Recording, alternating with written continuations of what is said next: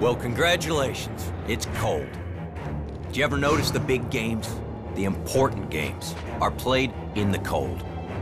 I'm talking about playoffs. Regular season doesn't mean anything now. No time to get nervous, forget about everything else, and finish the job. So yeah, you made it this far. Now what are you gonna do about it?